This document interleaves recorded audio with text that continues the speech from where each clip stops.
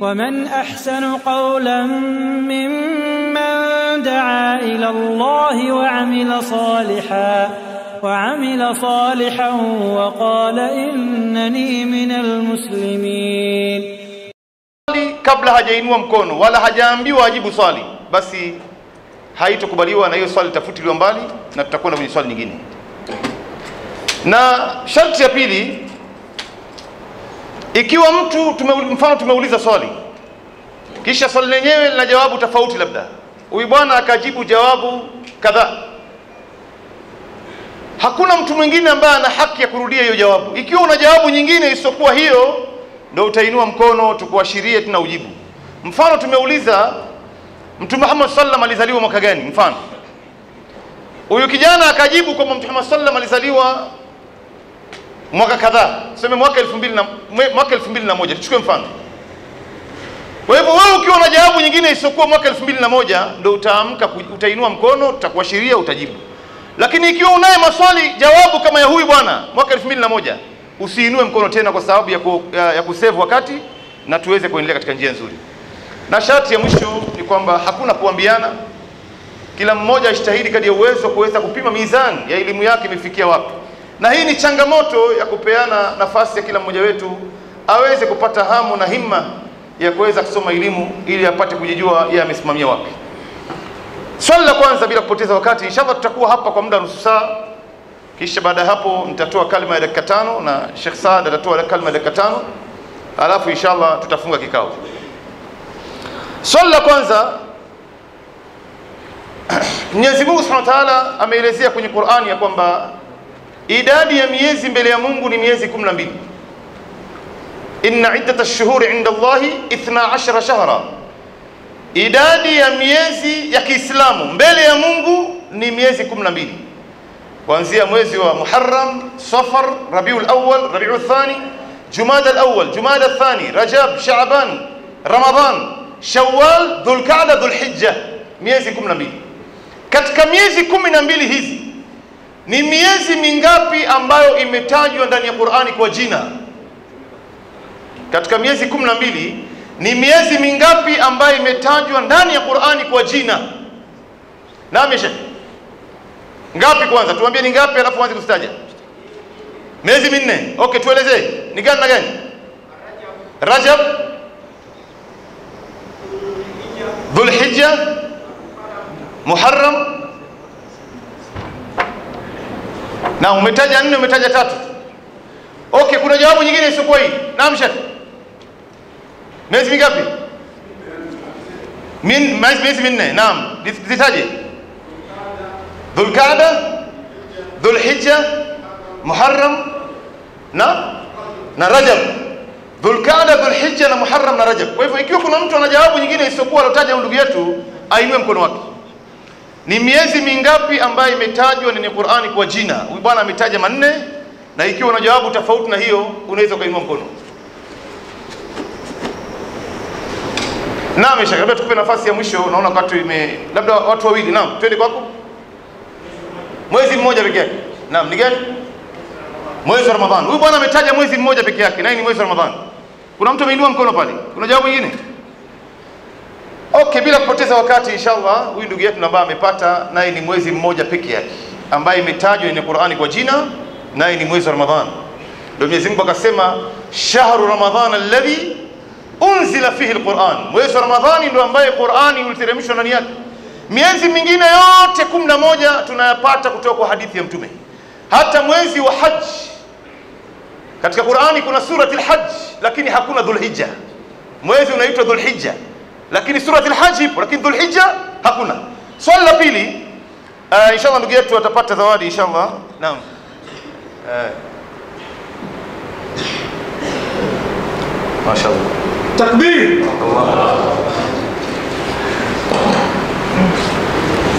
Swali la pili, kuna wa, kuna wanawake wangapi Mariam? Na Wala tunakwama tena jamani. Eh. Okay, acha tumpe mzee wetu inshallah. Mmoja tu. Naam. Mariam. Huyu bwana ametaja mmoja peke yake ambaye ni Mariam. Naam. Kuna pia kuna watu kujibu. Ah, kuna watu wa kujibu. Eh eh. Kuna jawabu kwenye simu hapa naona. Au? Aha. Naam Sheikh, kuna jawabu nyingine isiyokuwa ya bwana. Huyu bwana ametaja Mariam mmoja na wao wamepata taja Mariam wakashindwa katikati. Kama kuna mtu ana jawabu nyingine isiyokuwa hii ya huyu bwana anaweza kujibu. Naam. Wawili. Mariam? Nabii Asia. Bwana ametaja Mariam na Asia. Wanawake wangapi ambao wametajwa kwenye Qur'ani? Tumepata jawabu mbili. Huyu ametaja Maryam peke yake na huyu ametaja Maryam Nabi Asia. Labda tutaje jawabu ya mwisho kwa sababu ya wakati. Naam. Eh, ngoja kidogo. Naam. Naam. Wa alaikum salam. Eh, ndio unaweza kujibu. Naam, wangapi mwanzo? Wangapi? Wangapi? Wanne. Eh, tutajie. Maryam, Fatma, Asia na na Khadija. Okay, Nabii Khadija. Okay, inshallah utajua jawabu baadaye hivi karibuni. Okay, tutatoa jawabu ya mwisho kwa sababu ya wakati. Kuna mtu alikuwa ameinua mkono hapa. Naam, naam mzee wetu. Wangapi? Wangapi? Wangapi? Wametajwa wangapi mwanzo? Taja ni wangapi? Wanne. Ehe, mmoja wa kwanza ni Mariam. Maryam, Asia, Fatima. Hey, jamani. Si si si usijibu swali. Kila mtu ajitahidi kadri ya uwezo. Naam. Okay, kwa sababu ya wakati bila kupoteza wakati inshallah mtu aliyejibu sawa ni mzee wetu hapa ambaye ni Maryam peke yake ndio ambaye ametajwa kwa jina kwenye Qur'an. Na inshallah tutampatia zawadi ya Qur'ani yenyewe kwa sababu inaonekana mashallah anaisoma Qur'an. Kwa hivyo Maryam na kuna sura nzima. Kuna sura nzima ambayo inaitwa surati Maryam. Wanawake wengine wote hawajatajwa kwenye Qur'an, sio Asia, sio Khadija, sio Fatma, bali wanawake wengine wameitwa kwa jina za waume zao, wa mraata Lut, wa mraata Firaun, wamraata Nuh, lakini hakuna Asia, hakuna Aisha, hakuna Khadija, uh, hakuna Fatima, ni Maryam peke yake, na kuna sura nzima inaitwa surati Maryam kwa sababu ya kadhia nzito iliyopita juu ya mwanamke huyu ya kutuhumiwa kwamba amezaa ame, amezaa mtoto wa Mungu. Naam. Bismillahirrahmanirrahim. Bismillah rahmani rahim. Assalamu wa warahmatullahi wabarakatuh. Inshallah maswali yangu mengi yatakuwa katika tarehe na tarehe yenyewe itakuwa ni ya wale watu wema waliotangulia, watu ambaye Mtume sallallahu alaihi wasallam kama ilivyopokewa hadithi sahihi ambayo imesahihisha Sheikh Nasr Nasruddin Al-Albani ambaye Mtume sallallahu alaihi wasallam anasema khairun nasi qarni, yani masahaba zake Mtume. swala la kwanza, sahaba maarufu, sahaba ambaye sahaba ambaye kila unaposoma hadithi unakuta kwamba hadithi hii ama hadithi nyingi kapokea yeye. Sahaba maarufu anaitwa Abu Huraira. Jina lake la uhakika ni nani? Naam Sheikh. Abdurrahman bin Auf. Huyu ameshasema Abdurrahman bin Auf. Kwa hiyo isirudiwe Abdurrahman bin Auf. Naam mwenye kofia huyo Abdurrahman bin Sakhar. Naam kule mwisho. Abdurrahman bin Sakhar ad-Dawsi. Kuna mwingine asiyekuwa na jibu hilo? Naam, kuna basi. Naam, kwa sababu ya wakati aliyepata ni yule kule mwisho sahaba huyu anaitwa Abdurrahman ibn Sakhar ad-Dawsi. Na ni sahaba ambaye amekaa na Mtume sallallahu alaihi wasallam miaka mitatu tu. Amesilimu mwaka saba baada hijra. Lakini angalia ile ilmu aliyokuwa na yeye na alivyoweza kuhifadhi Uislamu mpaka umetufikia kwetu sisi. Lakini la kusikitisha ni kwamba leo tukianza kuulizana hapa, wachezaji wa mpira, waimbaji, wasanii, utashangaa kila mmoja atanyanyua mkono, si wazee wala si vijana. Na hii ni hatari, ndugu Waislamu. Hawa ni watu ambao wamejitolelea mali yao, wakati wao, na isitoshe juu ya hayo, mpaka wengine wametoa nafsi zao ili Uislamu tufikie sisi. Lakini malasaf ni kwamba tarehe yao ambayo inaandikwa kwa wino wa dhahabu, leo Waislamu wengi hatujui. Swali la pili, ndugu Waislamu, inshallah tutampatia jibu swali. naam Eh, tukiuliza swali tuachie kwanza mama wajibu. kwa kina mama, inshallah Watu wengi. watu wengi, Watu wengi. inshallah. Watu wengi. Ndio, si kina mama pekee. Basi inshallah atakuja kuchukua zawadi yake Husni muslim. Swali la pili. Nalo vile vile linahusiana na tarikhi ya masahaba. Sahaba huyu ni sahaba mtukufu kiasi cha kwamba alipokufa yeye ama kifo chake kilipomfikia ihtazza arshu rrahman, arshi ya Mwenyezi Mungu Subhanahu wa Ta'ala ilitingishika. Na mazishi yake walisindikiza 70000 malaika na huyu sahaba alikuwa ni muansari wala si muhajir. Huyu sahaba alikuwa anaitwa nani? Sahaba amefariki kifo chake kikatingisha arshur rahman. Naam. Naam.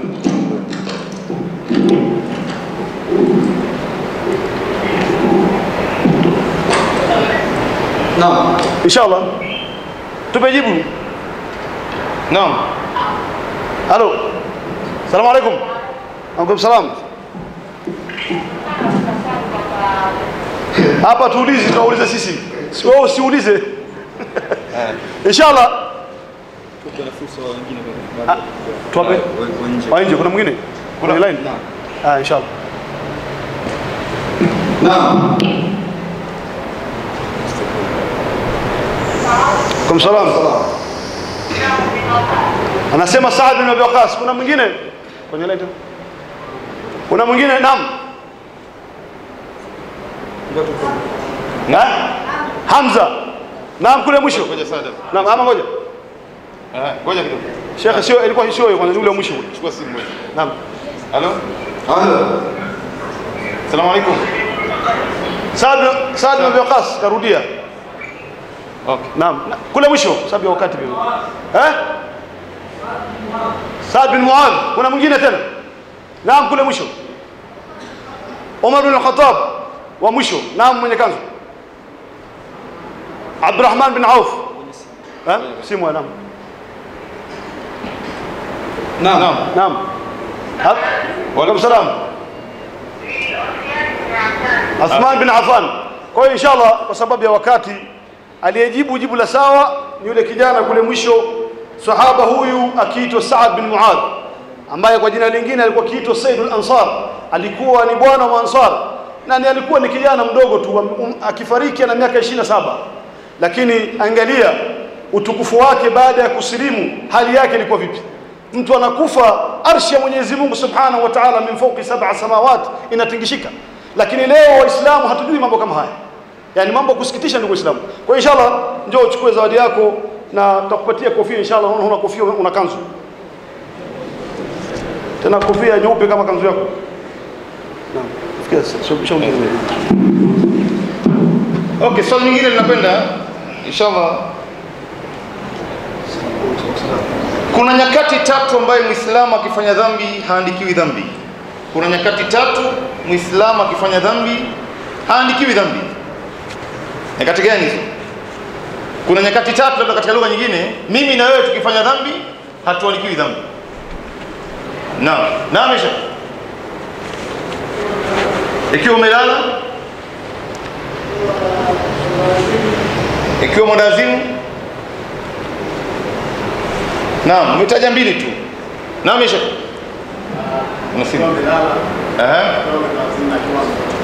Akiwa amelala akiwa mwandazimu na akiwa mtoto. Akiwa amelala akiwa mwandazimu na akiwa mtoto. Naam tuchukue simu. Naam salamu alaykum wa alaykum akiwa amelala? Akiwa mgonjwa? Na ikiwa amefunga? Okay inshallah. Tutoe nafasi ya mwisho. Kuna mtu ana jawabu nyingine isiyokuwa hizi ambayo imejibiwa? Anasema akiwa na saumu kali. Na ikiwa na saumu kali eh? Eh. Eh, la, labda jawabu ya mwisho kule mwisho. Kuna jawabu nyingine isiyokuwa hizi? Ikiwa amelala ikiwa ame- amepungukiwa na akili amerukwa na akili. Na ikiwa? Saidia amesema? Kabla umri wa kubaleghe okay nafikiri hapa hakuna mtu yoyote ambaye amepata jawabu. Lakini kwa sababu ya wakati eh, tusikie moja. Waalaikum salam. Akiwa mtoto akiwa majununi alafu akilazimishwa ehe. Sasa huyu okay, inshallah tutajibu sasa swali lenyewe. Nafikiri kwa bahati mbaya hakuna mtu yoyote ambaye amepata jawabu, lakini jawabu yenyewe nataka kujaribu. au labda ya mwisho ikiwa umetoka kuslimu Wewe ndikizo.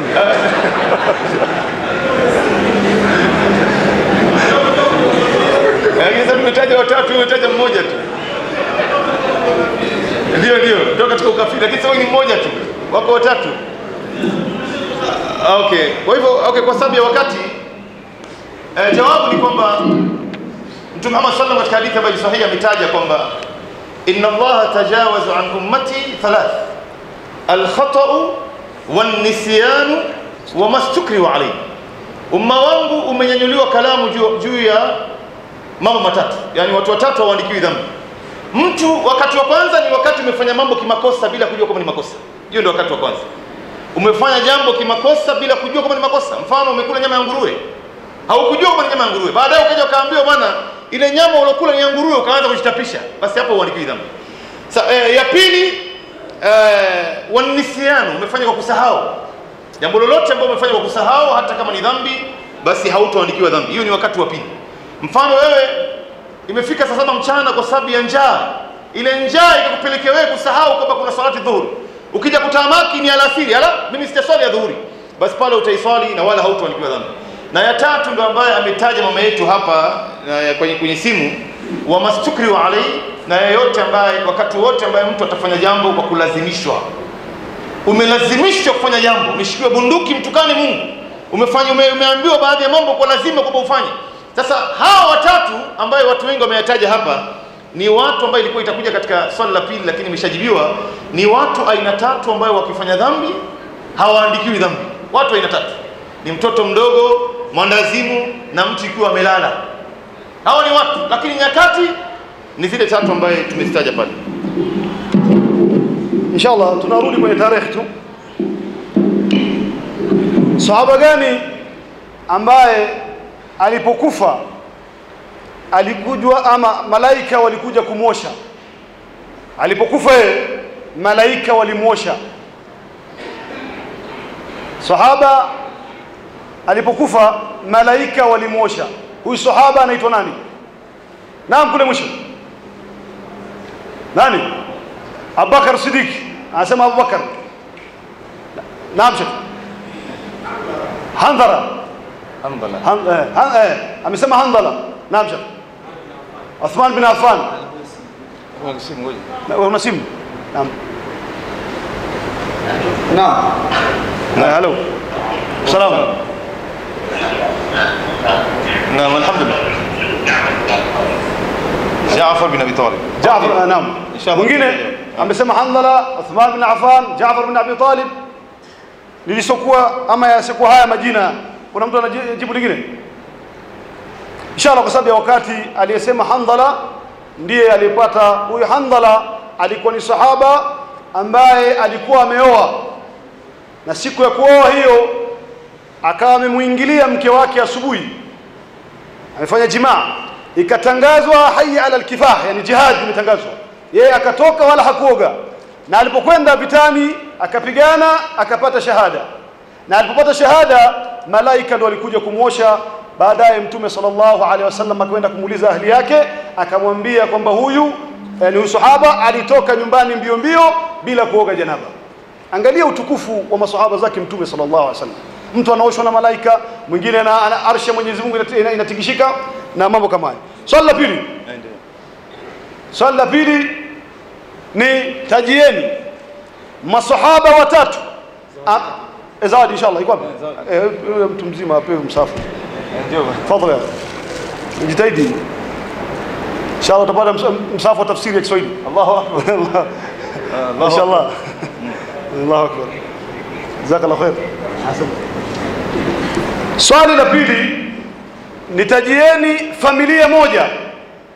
Wote watatu walikuwa masahaba babu baba na mtoto familia moja ya kisahaba ambaye alikuwa ni babu. Na untajia kwa majina shekhe na shekhe ah inshallah bismillah. Hapo hapo nakusikia tu. Eh eh Muawiya. Na Yazid. Sasa nani baba nani babu nani mtoto? Baba babu uh, Abu Sufyan. Baba Muawiya. Eh alafu mtoto Yazid. Eh Muawiya. Ah, mwingine? Wote kwa masahaba lakini آه الغم... نعم. نعم شيخ. عبد المطالب. ابو طالب ابو طالب سيدنا علي. تس... آه. مجينا. ابو طالب. أبو طالب أقوى مسلم أقوى صحابة. صحابه اقوى أقوى صحابة. صحابة كنا تقت ولوان صحابة ni nani? labda kwa faida ya kikao صحابة ni mtu ambaye alimuona mtume sallallahu alaihi akamwamini na akafa katika uislamu. Sahaba ni mtu aliyemwona mtume akamwamini na akafa katika uislamu. Sasa huyu kasema eh, nani kasema? Abu Sufyan. Abu Sufyan, Zaid, Eh, Yazid na Muawiya. Na mwingine isipo- isipokuwa jawabu jawabu hilo inaonekana kwa sababu ya wakati ndalijibu mwenyewe.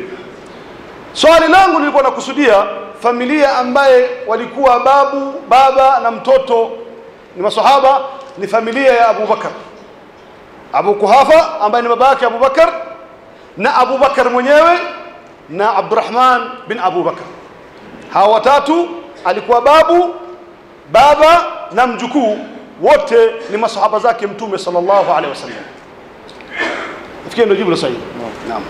Okay nitafsirie aya khudhu zinatakum inda kulli masjidin khudhu zinatakum inda kulli masjidin nini tafsiri ya hii aya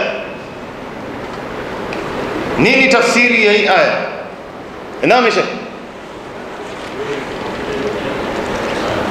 chukueni mapambo vyenu. Kila mnapokwenda kuswali. Bwana amejibu swali kwamba chukueni mapambo yenu kila mnapokwenda kuswali. Kuna jawabu nyingine isiyokuwa hiyo naam sasa Vaeni mavazi yenu mazuri ili mnapoenda msikitini. vaeni mavazi yenu mazuri kila mnapoenda msikitini. Ina ni tofauti na naam. Naam. Salamu alaykum. Wa alaykum salam.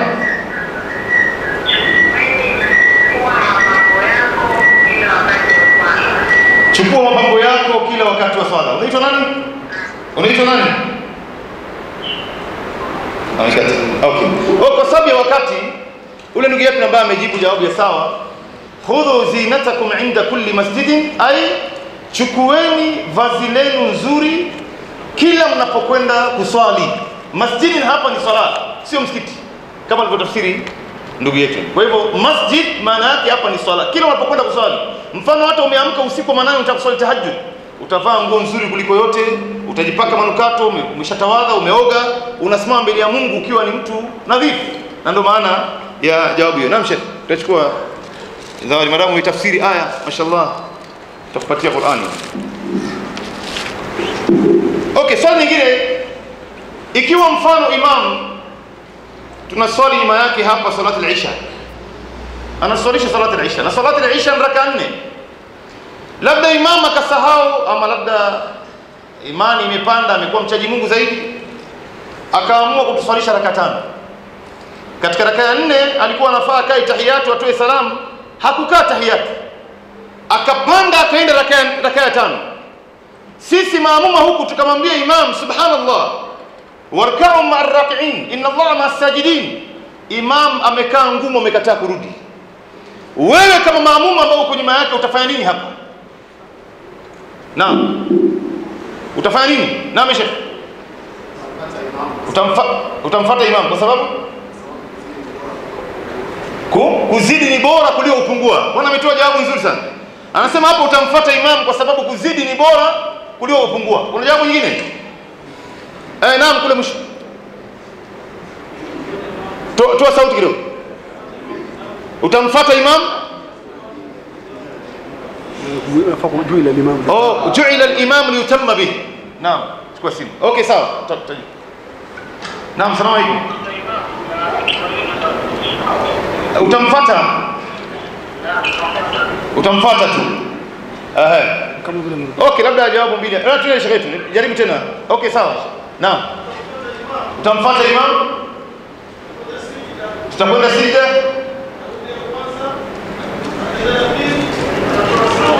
Tutaenda kwa anasema bwana tutafuata imamu sasa tu tuwili Tutaenda sisi Mashallah ameshahidi.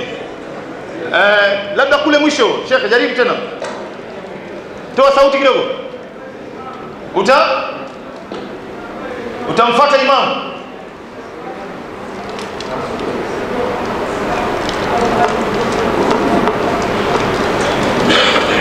Eh, nafikiri jawabu yako inalingana na ule bwana ambaye ametoa pale. Labda namshe.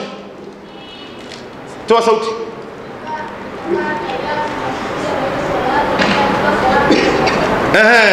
Huyu bwana amekuja na jawabu tofauti. Anasema utakaa utamsubiri imam, hauwezi kumfata. Na imama atakapokuja atakapotoa salamu wewe utatoa naye salamu. Kijana mashallah amejitahidi kadri uwezo. Labda swali la naam. Naam salamu alaykum. Naam. Naam. Naam.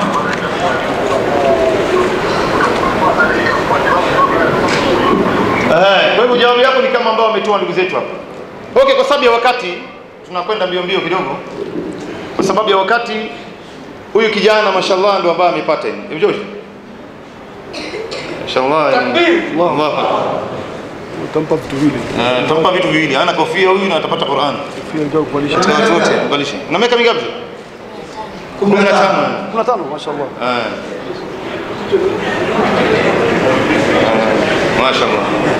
Eh Okay, jawabu ya sawa ambayo ametoa ndugu yetu. Unaitwa nani Sheikh? Taufik. inshallah Mungu akupe taufik. Inshallah Mwenyezi Mungu akupe taufik. Eh, ametoa jawabu ya sawa kwamba imam hauwezi kumfuata. Sawa? Katika sheria imam anapofanya jambo ambayo ni kinyume na vile mtume alivyofundisha, hauwezi kumfuata. Na wewe kitu ambacho utakaifanya utakaa pale chini. Utamngojea, usitoe salamu. Kama wanavyosema baadhi ya ndugu yetu kwamba utachukua viatu vyako uondoke uende zako. we ah, wewe mngojee pale. Kasema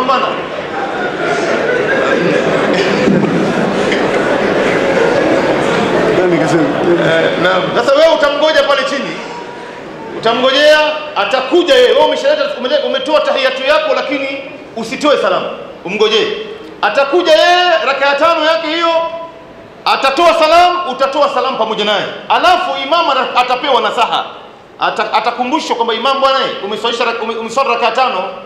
Kitu ambayo imamu atakayefanya atasujudu sija sahu na sote tutasujudu nyuma yake sija mbili na kisha atatoa salamu na hiyo swala itakuwa imekwisha hivyo. Sawa? Naam.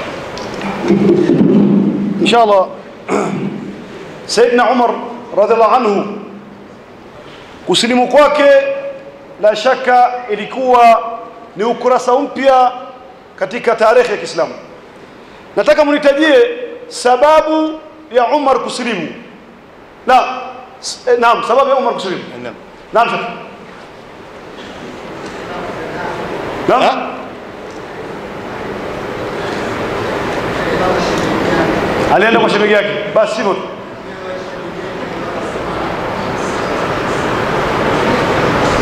pole pole pole pole.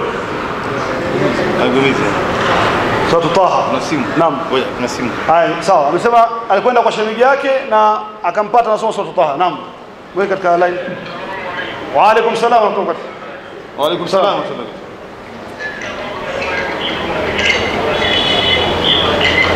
Suratu Taha. Akijibu hiyo amerudia. Eh, Unaitwa nani Sheikh? Hamis Babu inshallah. Ah. naam kule mwisho unadhani huna uhakika? Mambo ya kudhani usilete kuwa na uhakika. Naam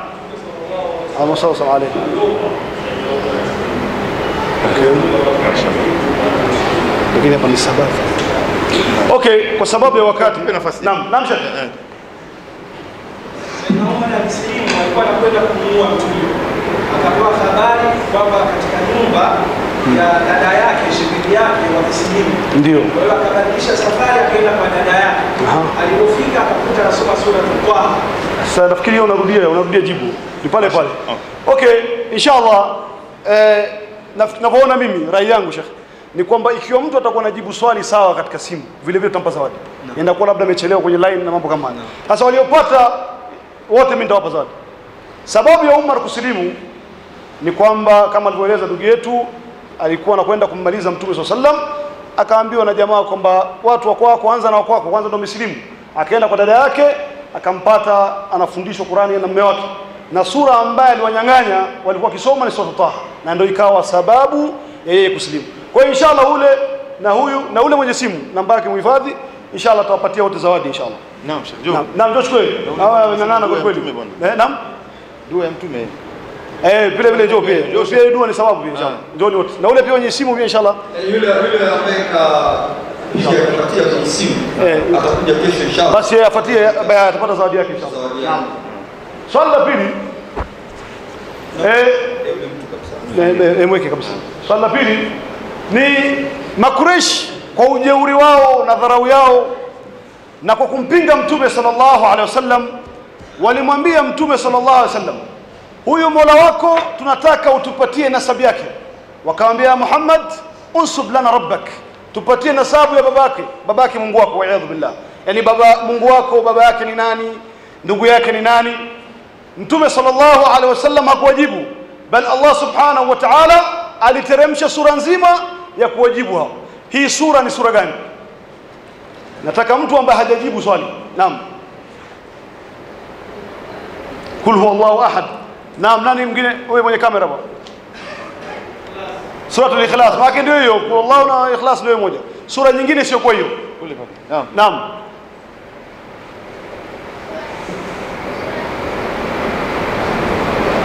Sura gani Sheikh? Suratul Kafirun. Naam, nyingine sio kwa hiyo. Okay, naam kwa sababu ya wakati. Naam, kwenye simu. Alaikum salam. Suratul Ikhlas inshallah. Kwa sababu ya wakati tutakwenda mbio mbio. Waliopata sawa ni wale waliosema Suratul Ikhlas. Kwamba wao Makureishi walimuuliza Mtume swalla sallam, Mola wako amezaliwa na nani, baba yake ni nani? Allah Subhanahu wa Ta'ala akawaambia kul huwa Allahu ahad, waambia kwamba Mungu ni mmoja, Allahu samad ila akhir sura. Kwa hiyo inshallah. Naam. kama na wakati ya watu nikipatiwa basi tena mtu apewe zawadi yani tukuulize Sasa siri siri siri hii ni watu kutojua jibu. alafu pia rai ya pili Eh, naam. kuna sababu ya mtu kujibu vitu asivyofahamu mpaka awe ana uhakika Sasa unajua mtu anakuwa itakuwa vigumu, itakuwa itakuwa haitoenda hivyo. Changamoto hii. Changamoto kila mmoja ni kujua huyu anajua au hajui. na na naam, na sasa watu wataingia uoga. Acha mtu ajaribu akose ndo apate. Almuhimu yule mwenye kwenye simu dada yetu inshallah pewe watu wenye simu akipata jawabu tunawapa Yule dada ambaye aliojibu mwisho zawadi yake inshallah kesho ataikuta inshallah. Alafu na yule aliyesema sote class hivi huyu hapa. Na yule bwana. Na Yule yule imerudia lakini. na yule pale eh, kairudia lakini inshallah. Naam. Wacha tumpe ni kofia ile. Ana hana kofia. Itamtosha ile. Karibu. Hii hakuna kanso. Wallahi kuna debe ya tende ya swali nzito kidogo. Na debe ya tende hapo. Atakayeondoka nayo itakuwa swali kidogo. Unao tende tunao debe moja hapo. Okay, hii swali linakwenda Naam shekhi. Njoo kofia. Mashaallah. Mashaallah. Takbir. Allah.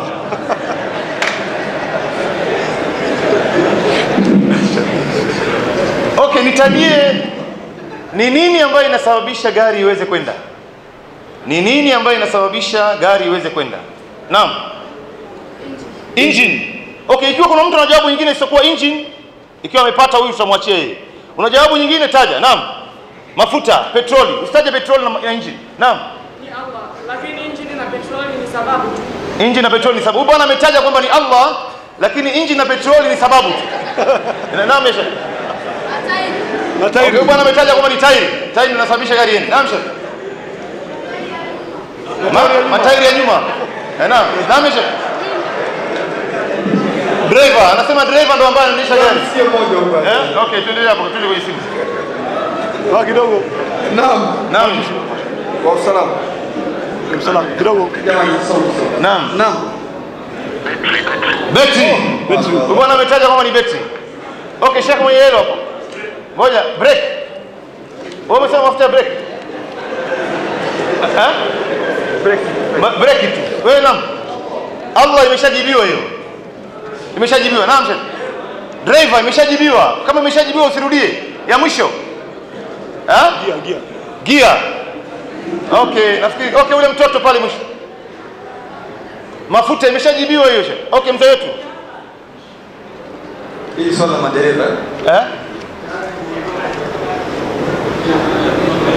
Sauti sauti. Sauti mzee. gearbox na propeller okay okay okay jamaa eh Huyo mwisho cha cha check. Ah, Halo. Okay, kwa sababu ya wakati shekhi, wakati imekwisha. Acha tuende kwenye, kwenye swali nyingine insha.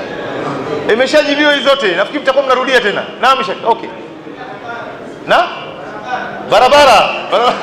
Barabara, ikiwa kuna gari haiendi. Naam shekhi. Ah? Alternator. Alternator. Naam. Eh? Msukumo wa hewa. Okay, tumalizie hiyo shekhe. Naam. Wa salam.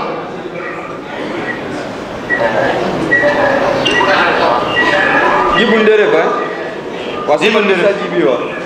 Okay, ndugu Waislamu, jawabu ni kwa ule ndugu yetu ambaye amejibu kwamba ni Allah ndo ambaye anasababisha gari iweze kwenda.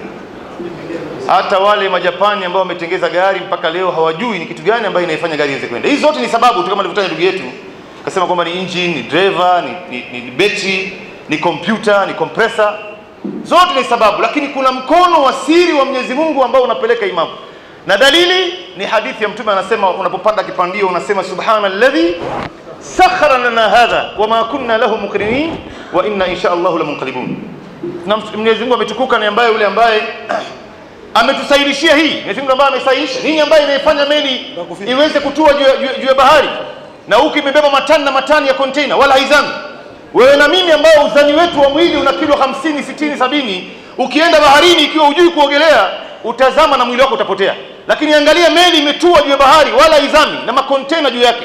Nini ambayo inaifanya ndege iweze kupaa angani na ikiwa imebeba mizigo na watu juu yake? Nini inayefanya baskili au pikipiki yenye miguu miwili haianguki huku wala huku? Ni Mwenyezi Mungu Subhanahu wa Ta'ala. Nafikiri huyu kijana ambaye ametaja ushampatia eh? Okay, swali la pili ni kiungo gani katika mwili wa binadamu ambaye ndio mkubwa zaidi kuliko yote? Kiungo gani katika mwili wa binadamu ambaye ndio kubwa kuliko yote? Naam, Sheikh, hujajibu wewe. Ha? Ma?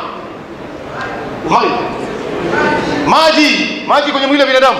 Hiyo sio kiungo hiyo, ni sehemu ambayo mtu amekunywa labda. Wale ambao hawajajibu, naam Sheikh. Sahihi. Ha? akili, huwa nametaja kwamba ni akili. Naam, kuna kuna simu. Hapo. alaykum. Ndugu zangu kidogo. Eh. Kuna simu hivi. Naam. Tutajie. Salamu alaikum. Naam. Wa alaykum salam. Ni macho. Macho ni X. Okay, kuna jawabu nyingine isiyokuwa hizi? Naam, Sheikh kujajibu wewe. Ah, wewe kijana mwenye ngoa hapa nyeupe. Naam. Roho, roho ni kitu gani mwanzo? Ile mwisho kwenye kona. Naam, Sheikh mzee wetu. Ubongo, ubongo imetajwa hapa. Kule mwisho moyo imeshatajwa. Hizi zote zimetajwa hapa. Haya, jamaa hebu jaribu. Mdomo. Ah, mdomo, mdomo ni dogo sana. Eh, labda wewe. Kichwa. Subhanallah. Mtu anaweza atakayepata hii jawabu atapata Qur'an inshallah. Atakayepata hii jawabu atapata Qur'an. Wale ambao hawajajibu bado, naam. Ini, bwana ametaja maini, wrong. Hiyo ni X. Naam. Eh? Ulimi, ulimi ni mdogo sana. Okay, upande huu namesha. Pumzi, eh, pumzi inakuwa ni vipi? Hebu rudia swali. Swali ni kwamba ni sehemu gani kat- ni kiungo gani katika lugha nyingine katika mwili wa binadamu ambaye ni mkubwa kuliko yote?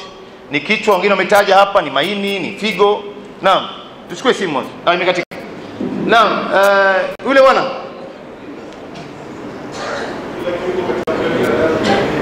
Ni ulimi. Hatusemi kwamba muhimu, ni kubwa kuliko yote ni gani katika hizi? Eh, haiwezekani, huwezi kulinganisha. Naam, naam. Salamu alaikum. Naam. Ha? Moyo, moyo imeshatajwa hiyo. Naam. Ngozi, jazakallah khair. Kwa sababu ya wakati tunaifungia hapa hapa tu. Bwana ndo ambaye amepata. Eh, ule mko, kule mwisho ule mtoto eh? Eh? Ulimi shatajwa, nafikiri bwana ndo amepata, na jawabu yake ni ngozi. Ngozi ndio ambayo imebeba hii vitu yote ambayo tuko nayo sisi, imo ndani ya hii ngozi, ndio ambayo imebeba kila kitu. Jazakallah khair akhi, Allahu akbar. Ni sura gani katika Qur'ani ambayo Mtume sallallahu alaihi wasallam aliamrishwa na Mwenyezi Mungu Subhanahu wa Ta'ala kwenda kumsomea moja katika masahaba zake? Sura katika Qur'ani ambayo Mwenyezi Mungu Subhanahu wa Ta'ala alimwamrisha mtume kwenda kumsomea sahaba jina la huyu sahaba ni nani? Inshallah atakayesema hii atapata debe atende hapa. Ilikuwa pimito hivi hapa sisi mambo uhakika hapa. Ataondoka na debe hapa. Ah eh? Kuna simu, kuna simu. Chukua simu. eh sawa chukua simu. Ile toi toi kwa nini? Ina ina minasa Eh, oh, hiyo hii hapa debe jamaa rudia swali. Narudia mpaka asubuhi ni sahaba gani? Ama jina la sahaba ambaye mtume sallallahu alaihi wasallam aliamrishwa kwenda kumsomea sura eh, kumsomea Qur'ani. Unipe sura pamoja na jina la sahaba. Sura aliamrishwa mtume kumsomea huyu sahaba. Jina la sura pamoja na sahaba mwenyewe. Naam. Naam. naam. Wa salam Abdullah ibn Umm Maktum amesema Abdullah ibn Umm Maktum naam Zaid bin Harith. Naam shekhe sura pamoja na jina sahaba. Eh? Sauti vile. Utakula dako wa iftari Bayyina. suratul bayna sahaba nani? Ubay bin Ka'b mwingine? Naam. Eh.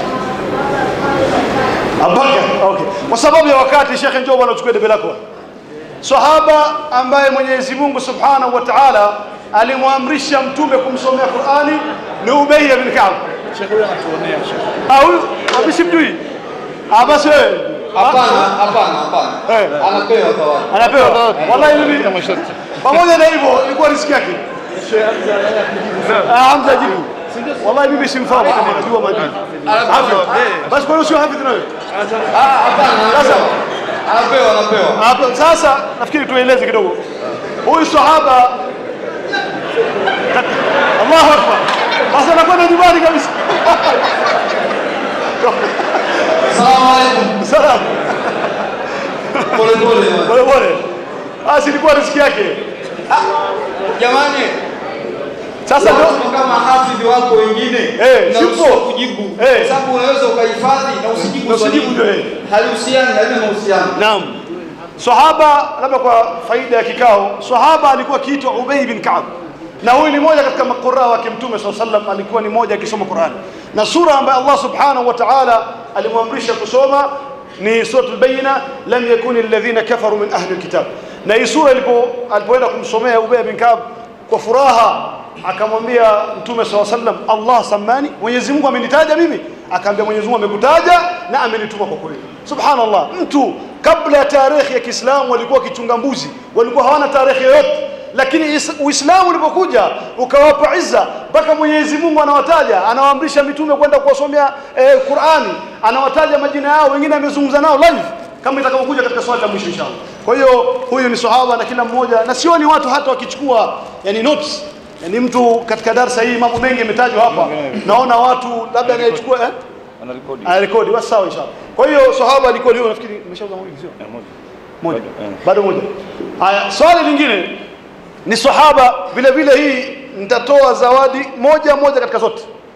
Nitatoa tafsiri nitatoa na mashaf ya kusoma ya tilawa nitatoa kofia na husni muslim. Na inshallah sijui kuna kuna sahaba huyu anaitwa Jabir. Maji maji vile vile. Sawa inshallah. Jabir. Huyu Jabir alikuwa ni sahaba mdogo. Na katika vita vya Uhud baba yake alikuja akamwambia Jabir akamwambia "Ya Jabir mimi naingia kesho katika vita vya jihad na ninaona kwamba mimi ninaweza nikapata shahada kesho. Kwa hiyo bwana nakuachia dada zako hawa na- walikuwa na dada katika riwaya nane wengine tisa. Alikuwa hana ndugu wa kiume isipokuwa dada zake. Na kuachia hawa na kuna baadhi ya amana za watu utarudisha. Huyu sahaba akaingia katika vita vya jihad na Allah subhanahu wa ta'ala akamruzuku shahada. Na alipopata shahada Allah subhanahu wa ta'ala akamsemesha live mubashara akamwambia mja wangu unatamani nini? Akaambia Allah natamani nirudi duniani nipigane katika njia yako nipate shahada kwa ile fadhila ambayo nimeona ya mujahidin. Allah subhanahu wa ta'ala akamkatalia. Akamwambia mnakufa mara moja hamtokufa tena na hichi kisa kina sababu ama kuna sababu nuzul ya, ya aya ambayo ilishuka kwa sababu hichi kisa. Huyu sahaba aya ndaiacha nataka unipatie jina huyu sahaba alikuwa anaitwa nani? Baba yake Jabir. Jabir baba yake nipeni jina lake inshallah zawadi moja moja nitakupa. Nitakupa msahafu wa tafsiri nitakupa eh, husnu muslim ya adhkar na nitakupatia eh, eh, tilawa na nitakupatia kofia. Atakayepata jibu la baba yake Jabir. Simu inaitwa. Simu inshallah naam salamu alaykum Sa- sawa sawa Abdullahi wako wengi Abdullahi yupi Abdullahi wako wengi Abdullahi nani Abdullahi nani Abdullah gani? Abdullahi Shekhe Msana ameshia kwenye Abdullahi Abdullahi wako Abdullahi Abdullahi wako wengi Kuna Abdullahi bin Abbas. wamepewa wiki hii majina kuna Abdullahi bin Abbas kuna Abdullahi bin Hunais kuna Abdullahi bin Abdullahi wako ukianza kuangalia wako wengi sasa ni yupi katika ma Abdullahi ambaye anataja nani anamjua ama niwape sababu ile aya ama ile aya sababu aya yenyewe ni Allah subhanahu wa ta'ala anasema wala tahsabanna alladhina qutilu fi sabilillahi amwatan ila akhir aya wala usisabu waliokufa katika njia ya Mwenyezi Mungu naam si si mwisho salamu alaykum msalam naam jibu ni Abdullahi bin Jabir. Abdullahi bin Jabir haiwezekani kuwa Abdullah bin Jabir wake Jabir ni mwanaye naam naam shekhi Aha. una google huyo ulikuwa una google Unaangalia kwenye simu. eh? unaangalia kwenye simu ni ghish Mnamjana lakini tumesema kuambiana inaingia katika kuambiana eh. Wallahi ume, sawa kwa sababu hatukuweka masharti lakini kuonesha watu kwamba hamsomi okay Jabir hawezi kuwa maana Jabir ndio mwanawe. Alikuwa kitu Abdullah ibn Haram. Inshallah kwa sababu ni tumeweka kauli almuslimuna ala shurutihim nitatoa lakini tafadhalini tujaribu kutumia vichwa vyetu kuliko kugoogle hii kugoogle inakuwa wewe kama vile unapewa chakula kwa kijiko inshallah njoo uchukue zawadi zako. Lakini nafikiri kuanzia sasa bwana ukimwona mtu ana google tusi atukubali lakini tunamuunga. Takbir bwana na sauti Kofia kwanza. takbir inshallah inshallah. Shekhe wangu umetuangusha bwana. Eh basi ile mbinu mbinu zinatumika au sio? Kiswahili kizungu Kiswahili. Kiswahili. Hamna mtu anafanya tende. Tende tende imekwisha tende. Tende tende tende imekwisha Tende ishachukuliwa. eh bado imekwisha Kofia. kofia kofia imechukua. imesha Haya. pipi. Pipi. Za watoto. Nimekumbushwa nilisema na maji. Na maji hapa maji. Maji. Okay, kuna sura ambayo ilipoteremka ilikuwa ni sura ya kumuaga Mtume Muhammad sallallahu alaihi wasallam. Na hii sura ina jina mbili kwenye Qur'an. Ni sura gani hiyo? Na nitajie majina mawili hayo. Inshallah mtu akiyapata haya vile vile atapata zawadi nyingi nyingi tu. Naam. Kuna sura ambayo ilipoteremka ilikuwa ni ishara kwamba inamuaga Mtume Muhammad sallallahu alaihi wasallam. Mtume alikuwa anaagwa hapa kwamba karibu ataondoka sasa duniani, karibu atakufa. Na hii sura ina majina mawili. Nitajie majina yote hayo. Naam. Aha. Naam, okay. Sheikh. Surati An-Nasr.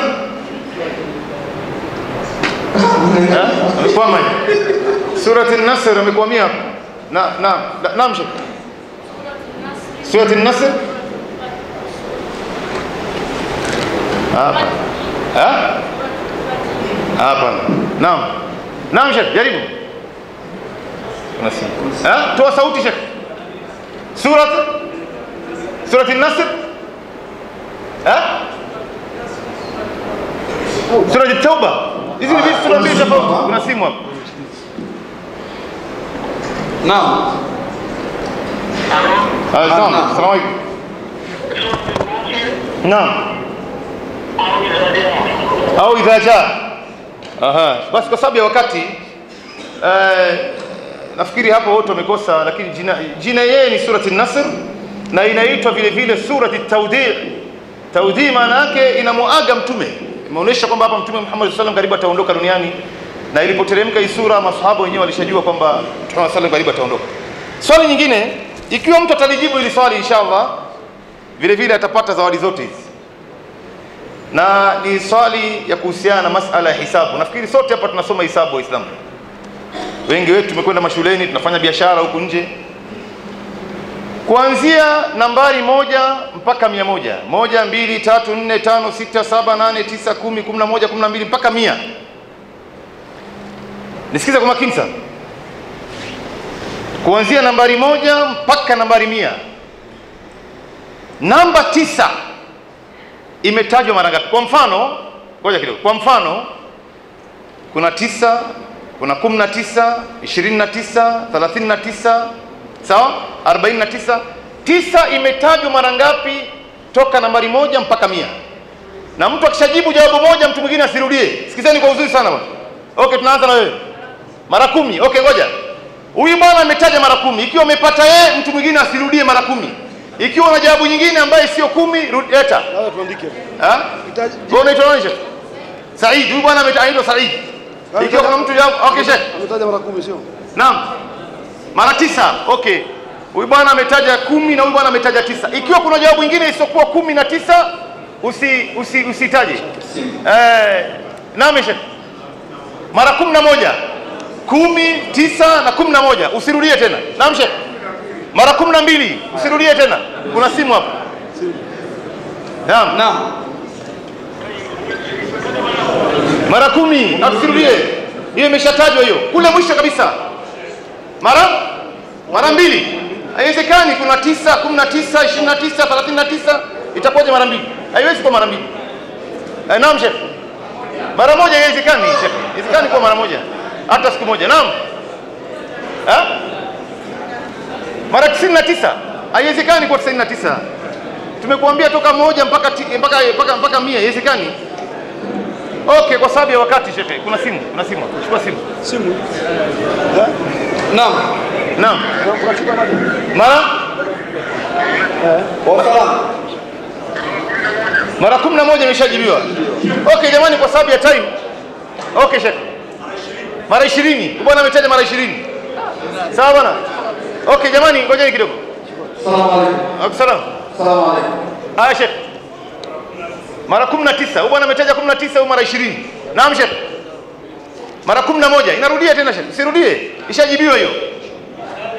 Mara 13 ishajibiwa hiyo. Naam shekhe. Mara 9 ishajibiwa. Tumeandika yote hapa. Naam. Mara 18. Okay, kwa sababu ya wakati tutasimamia hapa shekhe. Chukua simu, chukua simu. Naam. Wa salamu. Mara 21. Okay, sasa hii swali kwa lugha ya Kiingereza tumeshamaliza. Imeshajibiwa zote nafikiri. Hii swali katika lugha ya Kiingereza inaitwa programming of human beings mind, yaani kuitia akili ya binadamu kwenye kompyuta ukaweza kuiprogram na ikafata vile unavyotaka wewe, yaani ukaifanya vile kompyuta. Wewe una click tu namna hii na inafata vile unavyotaka wewe. Yaani mimi leo nakupa swali alafu na kuonesha njia ya jawabu, na hii njia ya jawabu si yenyewe, si njia ya sawa hii.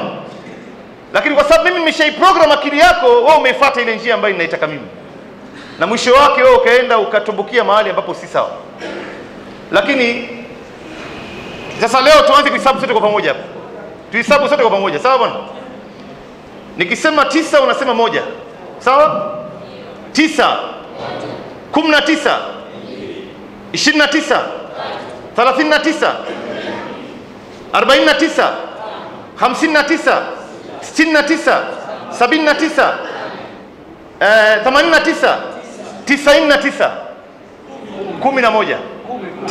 tisa ziko mbili hapo. kumi na na moja. Ukasahau kwamba kuna tisaini tisaini na moja tisaini na mbili tisaini na tatu tisaini na nne tisaini na tano tisaini na sita tisaini na saba tisaini na nane. Kwa hivyo tisa imetajwa mara ishirini. Na ndugu yetu ambaye ameipata hapa mashallah Allahu akbar. Mashallah imefanya hisabu inaonekana udari kwa Account- eh? ndio accountant eh? Mashallah. Kwa zote bana. Ya Kiswahili ama Kizungu? Kiswahili eh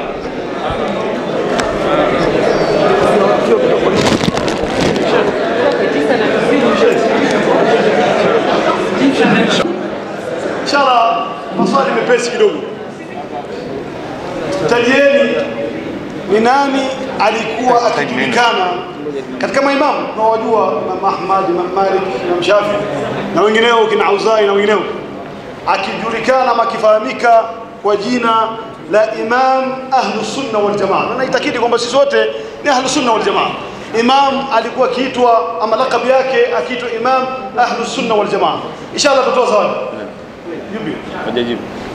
Eh? Imam Shafi. Na utatoa nafasi na- kuna na- simu. Kuna simu inshallah. Kia simu tutakuwa na hapa kwa sababu labda Naam. Naam.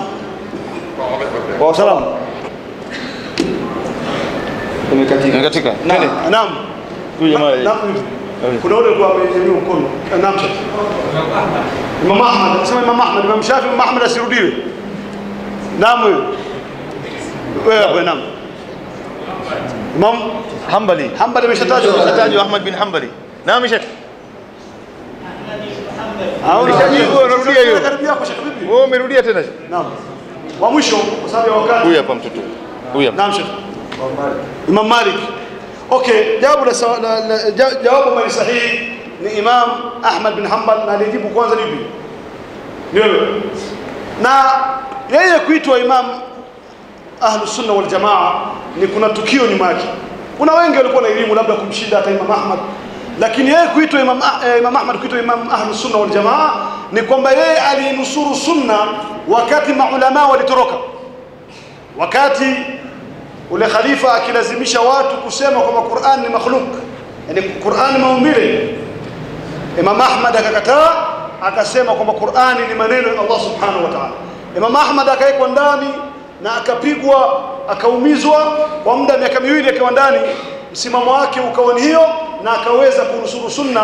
Baada ya kutoka, wakambandika lakab ya Imam ahlu Sunna wal Jamaa. Kwa hiyo inshallah nakupa zake Assalamu alaikum wa barakatuh Ndugu zangu, maswali ni mazuri, lakini kwa upande huko hakuna tatizo. Je, huko kwenu kuna taklifu yote? Okay. Nani ama imam katika maimamu hawa alikuwa akifahamika kwa laqab au kwa jina la Imam Darul Hijra, Imam wa Darul Hijra. Tumeshamtaja Imam Ahlus Sunna. Sasa Imam Darul Hijra, nataka wale ambao hawajajibu hawaja shekhe, wewe maswali yako na mwanzo simu. Simu Imekatika. Naam. Naam. Eh, Malik bin Anas, mwingine Imam Shafi, Hasan al-Basri kwenye simu. kwenye simu. Naam. Naam, Nani? Ah, ni Imam Malik Malik ibn Anas. Imam Malik. Okay, kwa sababu ya wakati inshallah aliyepata jibu sahihi ni Imam Malik ibn Anas yule ndugu yetu, na vile vile kwenye simu huyu vile vile naye atapewa zawadi. Njoo chukua zawadi. Mwambie Huyu ambaye- eh, eh, Eh, Huyu mtu yetu ambaye alinipigia simu muda si mrefu. mwambie kabisa. Kwa hiyo kesho inshallah Allah akijalia atapata zawadi yake, atakuja ataniona, atakuja ataniona na zawadi yake itakuwa ni kofia inshallah. Okay, inshallah kwa sababu ya wakati nataka kuwachokesha watu kama tunavyoona tunaweza tukaendelea hapa mpaka alfajiri, lakini mwisho wake tutachoka na kuna kuamka daku, kuna kuamka salati alfajiri. Kwa hivyo inshallah tutamalizia na swali mbili mbili, alafu tuweze kutoa kalima na tuweze kufunga inshallah. Inshallah.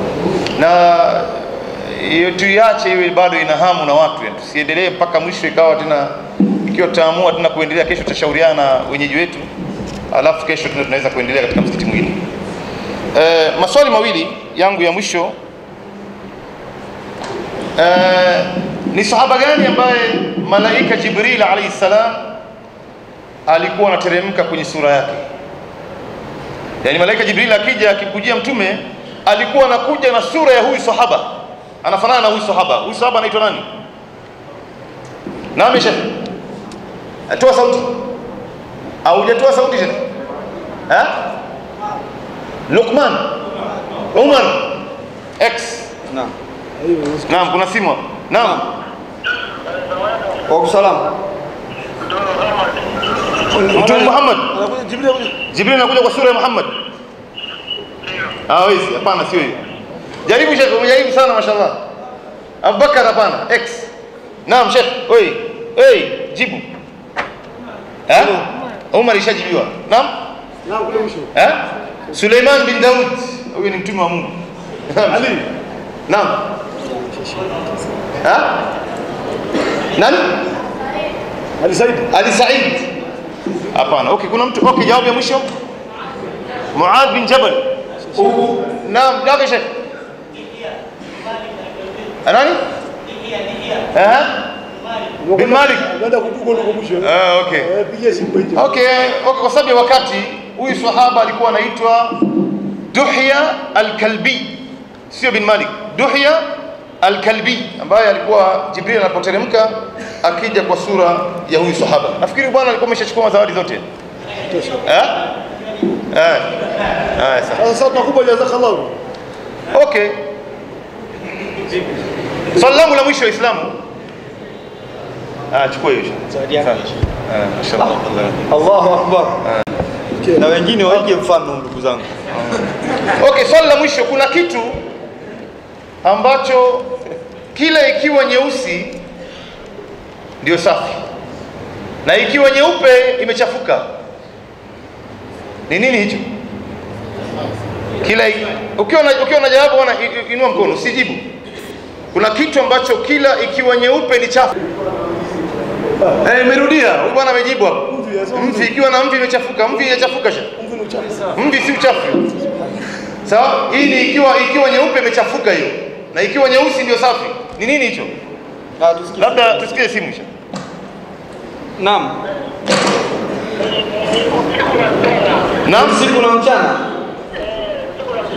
Sasa usiku inakuwa chafu. Usiku inakuwa safi na mchana ni chafu. Eh, Ah, inshallah. eh, inshallah okay. Naam. Jicho. Jicho ikiwa nyeusi. Ah, okay, ule kijana pale. Ha? Toa sauti. Kiwi. Kiwi ndio nini? Ra- eh, Kupiga viatu. Okay, okay. okay, kwa sababu ya wakati. Eh? Moja la mwisho. La, la mwisho. eh. Okay, Sheikh. Umri wa mtu unakuwa mweusi wakati mwingine? Haiwezekani. Nafikiri ya mwisho tumekubaliana. Okay, labda jibu Sheikh. Eh? Kanzu nyeupe? Ah, ah, sasa kanzu nyeupe. Ah, okay, inshallah kwa sababu ya wakati tutakomea hapa, lakini jawabu yake ni ni blackboard, ubao ya kuandikia. Ikiwa pale shuleni ikiwa nyeupe, basi inabidi ifutwe ndio iwe nyeusi, iwe safi. Lakini ikiwa ime- imewekwa nyeupe pale inakuwa imechafuka hivi. Eh. Sahaba sahaba yupi ambaye alisilimu akiwa na miaka midogo sana, ama sahaba mdogo kabisa kusilimu? Nataka mtu ambaye Huyo. naam, Ali bin Abi Talib. Mwingine mwenye jambo ambaye sio Ali. Ali umeongeza Saidna tu, lakini Ali Kwa simu. simu. Naam. wasa Eh, ongeza sauti. Ali mshajibiwa. Okay, inshallah kwa sababu ya wakati jibu sahihi ni Ali bin Abi Talib. Huyo wasimu inshallah aje kuchukua zawadi yake na itoe kabisa. Kwa simu ataingia zawadi. Na itosha. Ataikuta kwangu inshallah. Kofia. Ambao ni kitabu cha Husnul Muslim. Okay, mvalishe. Ni swali la mwisho tuliuliza. Swali langu la mwisho inshallah. Sahaba ambaye alikuwa ni Mwansar na alikuwa siku moja katika vita Mtume sallallahu alaihi wasallam alimwona akitembea kwa madahali, kwa maringo. Mtume sallallahu alaihi wasallam akamwambia, mwendo wako huu Mwenyezi Mungu anauchukia, lakini kwenye vita amekuachia ili kuwaudhi makafiri. Hiyo ni moja katika sifa yake. Na nyingine ni kwamba Mtume sallallahu alaihi wasallam kuna siku alikuja ama katika ghazwa akawaambia masahaba, nani atachukua upanga wangu huu, upanga wa Mtume sallallahu alaihi wasallam? Masahaba wakanyanyua mikono juu. Mtume akasema, atakayeichukua na atakayeipatia haki yake. Masahaba waliposikia kuipatia haki yake, wote waliteremsha mikono yao chini, huyu sahaba mkono wake kwa baki juu. Hiyo ni sifa yake ya pili. Ama sifa yake ya tatu ni kwamba huyu sahaba anapoingia katika maaraka, katika vita, anafunga kitambaa chekundu kwenye kichwa chake. Huyu sahaba muansari alikuwa kiitwa nani? Na atakayepata inshallah atapata kila kila kitu moja moja. wewe inshallah tutakupa zawadi kwa kujaribu zote umekosa hii tutakupa zawadi nani jibu huyu mwenye t-shirt inshallah zawadi eh Khalid bin Walid wewe ndio uchukue umekosa lakini ndio uchukue simu. ah wewe si Naam. Ongeza sauti kidogo. Jamani sauti. Wa salamu. chukua na hiyo Naam. jaribu nenda kasoma Eh. Ni Ali bin Abi Talib. Ni Ali bin Abi Talib. okay. Haya. naam ule kijana. Naam. Abdurrahman bin Auf. Naam huyu kijana mwenye yupe naam kule mwisho naam. Dhuliadain Dhuliadain ni, ni, ni wrong na nitakwambia kwa sababu gani. Dhuliadain yeye amekuja kwa maarufu ya hadithi ya Mtume SAW sallam ambaye itakuja kuizungumzia baadaye. Hiyo ni wrong. Sio sawa. Naam Sheikh. Abubakar. Si Abubakar ndio mtu asitaje si Abubakar naam Sheikh Sima kaa tu kaa simama Hassan bin Abdullah Jaafar bin Abdullah sahaba gani naam hamna sahaba sio okay kwa simu inshallah Naam. Salamu. Abu Dujana. Abu Dujana. Okay. Kuna mwingine ana jawabu Bashiru. Huyu kasema. naitwa nani Shakata simu. Amir Amir. Ah, unajua. huyo ka Google nini? Haya. Okay, jawabu la jawabu la sahihi kwa sababu ya wakati. Huyu sahaba alikuwa anaitwa Abu Dujana. Na huyu sahaba alikuwa eh, inshallah. Huyu sahaba alikuwa Nataka mimi niombe nafasi ya upendeleo. Umeniwahi. Sahaba huyu anaitwa Abu Dujana na ni sahaba ambaye subhanallah alipochukua upanga wa Mtume SAW sallam alijitahidi kuipatia haki yake kwa sababu alipoingia katika maraka alikuwa hawaui makafiri bali alikuwa anavunja vichwa vyao kama nazi. Anapiga kichwa inapasuka mara mbili. Na ni mtu mashallah alikuwa mjasiri katika vita. Na hawa ni watu subhanallah wametufanya sisi tuweze kutembea kifua mbele leo. Lakini la kusikitisha ni kwamba sisi leo hakuna ama ni wachache ambayo wana hamu ya kutaka kujua tarehe ya watu kama hao kwa hiyo inshallah mimi nafikiri ndio swali langu la mwisho na nitamwachia Sheikh Said afunge. Okay, inshallah alhamdulillah alhamdulillah wassalatu wassalamu ala Sheikh Salim Muhammad ibn Abdullah wa ala alihi wa sahbihi wa sallam amma ba'd. Kwanza kabisa tunatoa shukrani kwa nyinyi kuweza kukaa na kutusikiza sisi na mkasubiri mpaka sasa hivi. Na hii ni changamoto kwa kila mmoja wetu aweze kupata hamu na himma ya kwenda kusoma, kwa sababu leo matatizo kubwa ambayo tuko nayo si Waislamu ni ukosefu wa elimu, na hata hii tofauti ambayo inakuja miongoni mwetu ni kwa sababu watu wamekataa kusoma. Matokeo yake sasa tunabakia kwenye giza, wengine wanafata watu, wengine wanafata mambo ambayo wameyapata zamani, wengine wanaangalia nani ambaye eh, ndio ambaye mimi niko karibu yake zaidi. Matokeo yake Waislamu wanazidi kupotea, na Muislamu akienda kusoma ndio atakuwa Muislamu wa kweli na hawezi kuchanganyikiwa humu ndani. Mfano mimi leo nije niwaambieni bwana, kuna kitu fulani ambaye ni haramu, nikataja aya, nikataja hadithi, sawa, nikamwambia ni haramu hichi, haifai Kesho yake akaja shekhe mwingine hapa ambaye alipata ikanda, akawaambia ule shekhe ambaye alikuwa hapa jana, ambaye amewaambia jambo fulani kwamba ni haramu, ni mrongo. Hiyo jambo sio haramu bwana, ni halali. Akataja mashairi ya Kiarabu. Wewe kwa sababu huna elimu ukaona kwamba hiyo ni aya ya Qur'an. Matokeo yake sasa umebaki kuchanganyikiwa, hujui mfuate nani, umfuate yule ambaye amesema ni halali au amesema ni haramu. Sasa ili uwe ni Muislamu wa kweli, uende ukasome. Mtu anapokuja kuzungumza hapa, huyu akizungumza kitu tofauti na na mwingine, utapata kutia katika mizani, utapata kujua kwamba katika hawa watu wawili, huyu bwana amezungumza hivi, amesema hii ni halali, na huyu amesema hii ni haramu. Huyu alipotaja kwamba ni haramu, ametaja aya na hadithi na aya ya Mwenyezi Mungu. Huyu amekuja ametaja mashairi ya Kiarabu. Kwa hivyo ilikuwa sawa, ni wewe mwenyewe utajaji kwenye akili yako. Ndio unaona Imam Ab, eh, eh, Abu Hurairah eh, Imam Bukhari rahimahullah kwenye kitabu chake Sahih Bukhari ameweka mlango nzima inaitwa babul ilm qabla alqawl wal amal, mlango wa mtu kusoma mwanzo. Kabla hujatamka chochote na kabla hujatenda chochote, kabla hujafikia mtu kuongea kitu chochote, lazima mwanzo ukasome ndio uongee, na kabla hujafikia mtu kutenda chochote, nenda ukasome mwanzo ndio uje utende, ili uwe ni Muislamu wa kweli na utaweza kuendelea. Na eh, na jambo kubwa hapa la Uislamu eh, ambaye tunataka kutaja. Eh, eh, ilikuwa kuna makosa mengi ambayo tumeona baadhi ya watu wanayafanya hasatan katika mwezi wa Ramadhan ambayo ilikuwa tunataka tuisahihishe madamu tuko katika online hapa kwenye TV, na hiyo ni vile vile ni changamoto kwa baadhi ya Waislamu. Huenda ikawa nafasi kama hii tena tusiweze kuipata hapa, kwa sababu siku ya Jumapili asubuhi itakuwa tunaondoka. Kuna makosa matatu labda niyataje. Makosa yako mengi sana, lakini nitataja makosa matatu tu kwa faida ya umma ambayo Waislamu wengi wanayafanya bila kujua kwamba ni makosa, au nyingine wanayapuuzia, na nyingine ni kwa sababu hawana elimu nacho. Sasa wanabakia kuangalia watu wanafanya nini, mpaka wanafanya. Kosa la kwanza ni Uislamu ni katika swala ya tarawih. Swala ya tarawih haipatikani ila katika mwezi wa Ramadhani, na hii ni swala ambayo subhanallah, faida yake ni kubwa. Laiti Muislamu angelijua thawabu ya swala ya tarawih, hakuna hata mmoja wetu angekosa kuswali swala hii. Na ndio unaona kuna baadhi ya watu wanashindwa kuswali tarawih. Mamilioni ya Waislamu leo wameshindwa kuswali tarawih, na kuna baadhi ya watu wanaswali raka nne nyuma ya imamu, anaswali raka nne kisha anaondoka na kwenda zake. Wengine wanaswali raka sita ikitolewa salam anaondoka na kwenda zake. Wewe ambao umeswali raka mbili, umeswali raka nne, umeswali raka sita, utaandikiwa thawabu yako ambayo umeiswali, lakini utakosa nafasi kubwa sana katika maisha yako, inaitwa nafasi ya dhahabu ambayo huwezi kuipata hivi. Na dalili ni katika Sahihi Bukhari wa Muslim. Kuna siku moja Mtume sallam aliwaswalisha masahaba swala ya tarawih, katika zile masiku matatu ambayo Mtume aliwaswalisha masahaba tarawih, aliwaswalisha toka baada ya isha mpaka nusu ya usiku. Ameanza baada ya isha mpaka katikati ya usiku. Alipomaliza maswahaba akamwambia, ya Rasulullah, umefika nusu ya usiku, kwa nini tusimalize nusu nyingine mpaka alfajiri?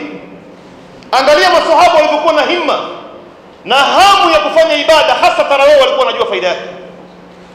Lakini leo imam akichelewa kidogo hapa, ama kama kuna darsa, subhanallah, hiyo ndio itakuwa mazungumzo ya mtaani. Kwani imam ajui bwana, kuna watu wanafaa kwenda kula daku bwana, ajui watu wanafaa kwenda kulala bwana, ajui kama kesho kuna kazi, mambo gani haya jamani? Lakini angalia masahaba radhiallahu alaihim walikuwa wako tayari kusimama sala ya tarawih mpaka alfajiri.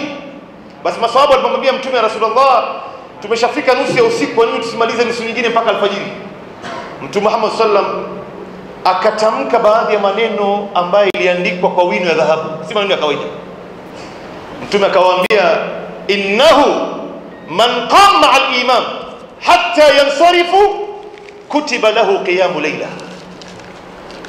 Mtu yoyote ambaye atakayesimama nyuma ya imam, anakusudia swala ya tarawih, mpaka imam akamaliza, ataandikiwa kwamba usiku kucha alikuwa amesimama huko akifanya ibada. Nani miongoni mwetu hapa anaweza kusimama usiku kucha, ndugu Islam? Lakini leo unapewa nafasi, simama nyuma ya imam katika swala ya tarawih, toka mwanzo mpaka mwisho, utaandikiwa kwamba usiku kucha ulikuwa unafanya ibada, hasatan ulikuwa unaswali. Sasa leo mtu anaacha haya kwa sababu ya kwenda kuangalia TV, kwa sababu ya kwenda kukaa kwenye barza, kwa sababu ya kwenda kupiga gumzo ama kucheza karata. Hii ni msiba katika umma wa Uislamu, na kuna baadhi ya mandugu zetu ambaye leo wanaswali rakaa nane. Hata wengi tunawaona katika baadhi ya misikiti kama hapa na kwingineko, anaswali rakaa nane, imam akitoa salamu, yeye anaondoka na kwenda zake, kwa sababu anataka tena kuamka usiku wa manane kuswali tahajjud. Sasa swali ambayo inaikuja kwa sababu Mtume Muhammad sallallahu alayhi wasallam ametaja katika hadithi yake ambayo ni sahihi, ij'alu akhiru salatakum alwitr, ifanyeni swala yenu ya mwisho iwe ni swala ya witri.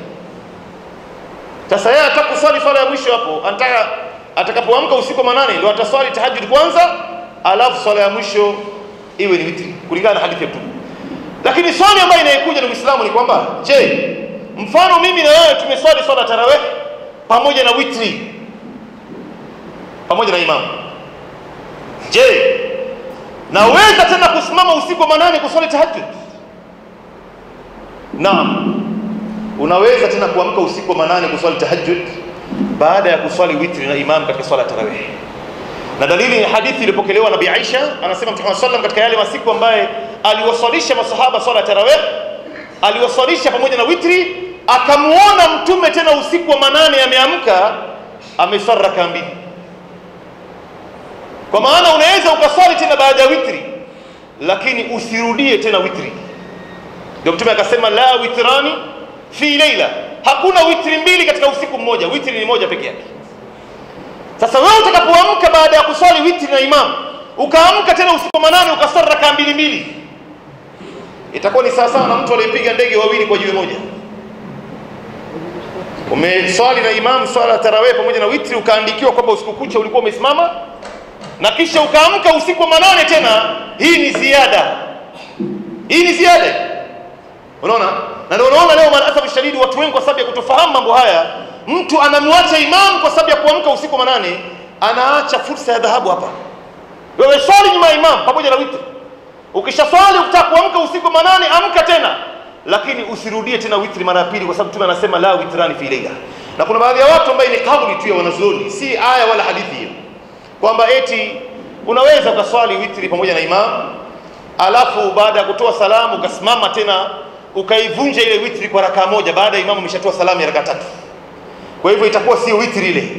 Hii ni rai ya baadhi ya wanazuoni lakini dalili ni kwamba mtume sallam aliwahi kuamka baada ya witri na kuonesha kwamba ile kusema kwamba fanyeni swala zenu za mwisho. Iwe ni swala ya witri ni pendekezo katika masala ya ibada sio amri. Na hii ndo kaulu jamhur. wanazuoni wengi wamekubaliana ni masala nafikiri kuna swali hapo. Naam. Aha. Aha. Aha hakupata kuswali zaidi ya rakaa nane yaani katika usiku mzima hakuwahi kupata kuswali zaidi ya rakaa nane weka na witri sasa sijui vipi naam Jazak- eh, jazakallah khair wacha nikujibu hapo. Eh, bi Aisha naam. Okay, labda nitamjibu moja tu kwa sababu hatutaki kupoteza na muda mrefu, lakini inshallah kesho tuko hapa tutakuja kuyafafanua zaidi haya. Lakini labda nikikujibu wewe, Bi Aisha anasema katika hadithi ambayo ni sahihi, Mtume Muhammad sallam hajawahi kuzidisha ndani ya Ramadhan na nje ya Ramadhan zaidi ya rakaa 11 kwa maana alikuwa anaswali rakaa nane na akiswali witri raka tatu. Hajawahi ku, kufanya hivyo.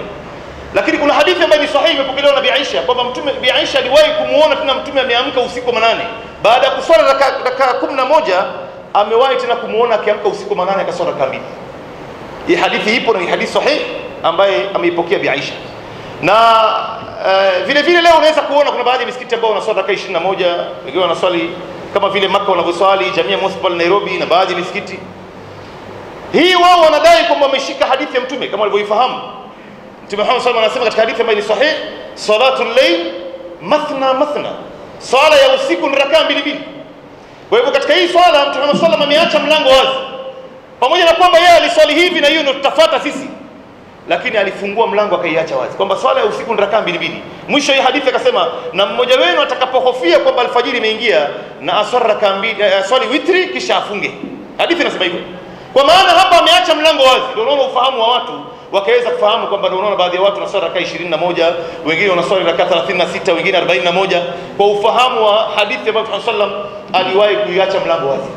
Kwa hivyo hii ni masala ambayo yako wazi, wala hakuna na hii ndio kaulu jamhur, wanazuoni wote شيخنا الفاضل عثمين رحمه الله بن باز الألباني آه، ابن تيمية ابن القيم الجوزي وكان في كتابه شا الفوزان الفوزان في كتاب آه، الملخص الفقهية في كتابه أدلة الرضية الدرة الربهية. يا إمام الشوكاني. في نبيلة ما يلزم الصلاة وازقة بس. سواء أبا يعني صراحة نستدل لزوجته زيكو وازق مسألة هاي. وما يلوم آه، ما قصة نعم. أها. ديو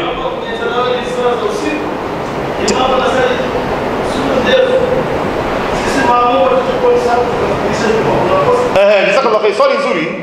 Anauliza kwamba mtu anaruhusiwa je kushika Qur'ani aangalie. Wanazuoni wengi wameichukiza, wame jambo la kuchukiza hilo. Yaani sio kitu ambacho Muislamu anafaa kuchukua Qur'ani na kuangalia huko na swali. Kwa maana ule imamu anatakana asome na mtu mwingine ambaye ni mjuzi kama yeye awe nyuma yake akimrekebisha kama kuna makosa yote. Sasa hii mara nyingi watu wanayafanya ikiwa hakuna mtu wa kumrekebisha uimamu. Imamu ndo peke yake amehifadhi Qur'an, hao wengine wote wanaosoma nyuma yake hakuna mtu aliyehifadhi. Sasa akikosea hapa imamu, hakuna mtu ambaye atakayemrekebisha. Ndio wanazuoni wakajuzisha kwamba kwa sababu ya dharura anaweza akashika nyuma yake msahafu kwa sababu ya kumrekebisha yeye. Lakini ikiwa kuna watu wengine hapa nyuma, hakuna haja ya mtu kushika Qur'an. Sawa? Kwa hivyo hii ni masala ambayo yako wazi. E, makosa nyingine ya pili Waislamu ambao Waislamu wengi wanafanya katika mwezi wa e, Mtume Muhammad sallam Mtume Muhammad sallam katika hadithi ambayo ni sahihi ametaja kwamba wala halufun famu saim atyabu inda Allahi min rihil misk, harufu mbaya ambayo inayotoka katika mdomo wa binadamu muislamu ambaye amefunga ni yenye kunukia na kupendeza mbele ya mungu kuliko harufu ya marashi ya miski wewe unapofunga mchana ile harufu mbaya inatoka katika mdomo wako na wangu mwenyezi mungu inampendeza inanukia mbele ya mungu. Sasa madaktari wote leo wanakubaliana mdomo wa binadamu unapotoa harufu mbaya unatoa harufu mbaya katika kwa sababu moja katika sababu tatu.